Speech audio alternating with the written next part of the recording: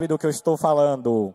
Com o arranjo de Alex Novaes e a adaptação de Vilobaldo da Conceição, ouçamos a música na íntegra. É com você, maestro.